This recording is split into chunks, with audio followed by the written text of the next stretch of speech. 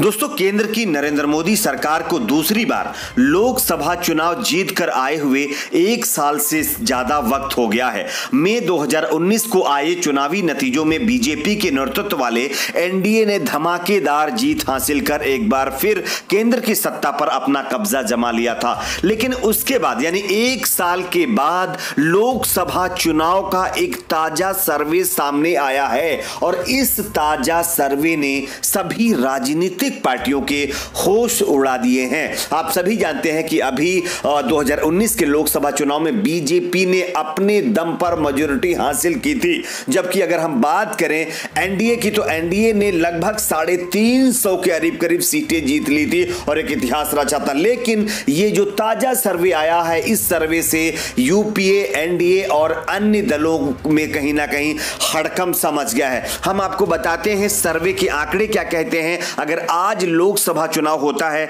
तो किस पार्टी के खाते में यूपीए, एनडीए, यानी मोदी के एनडीए और कांग्रेस के यूपीए के खाते में कितनी सीटें जा सकती हैं?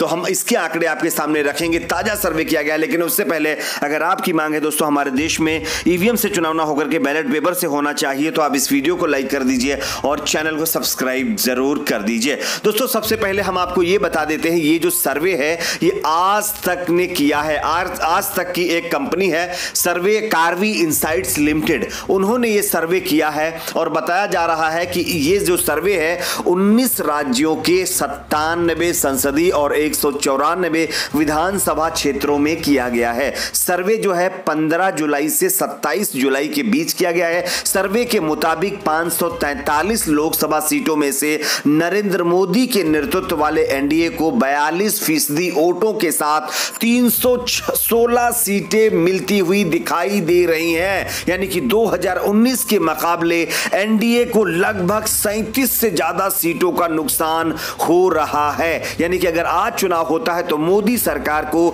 37 सीटों का सीधे सीधे नुकसान होगा। जबकि अगर बीजेपी की बात करें, सिर्फ़ अकेले दम पर तो 36 फ़ीसदी वोटों के साथ बीजेपी को दो सौ तिरासी सीटें मिलती हुई दिखाई दे रही हैं। तो यहाँ पर सिर्फ़ बीजेपी को भी 20 से ज़्यादा सीटों का नुकसान होता हुआ दिखाई दे रहा है। अगर हम बात करें दोस्तों यानी कि यूपीए की तो सर्वे के मुताबिक सोनिया गांधी के नेतृत्व वाले यूपीए को 27 फ़ीसदी वोटों के साथ तिरानबे सीटें मिलती हुई दिखाई दे रही हैं। यानी कि दो सीटें यूपीए की बढ़ जाती हैं। अगर आज चुनाव होता है तो दो सीटें जो है यूपीए की बढ़ गई हैं। अगर बात करें सिर्फ़ कांग्रेस पार्टी की तो कांग्रेस पार्टी अपने दम पर 19 फ़ीसदी वोटों के साथ उनचास सीटें हासिल करने में कामयाब हो जाएगी। जबकि 2019 के लोकसभा चुनाव में इन्होंने बावन सीटें हासिल की थी।